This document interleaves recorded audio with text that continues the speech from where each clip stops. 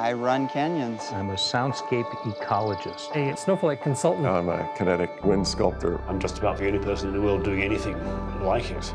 From the Weather Channel and renowned internet filmmakers' Great Big Story comes a celebration of storytelling and weather. I love pushing the boundaries in these conditions. When you're on the edge as an adventurer, it's the most amazing feeling. That's amazing. Premiering Sunday at 9, only on the Weather Channel.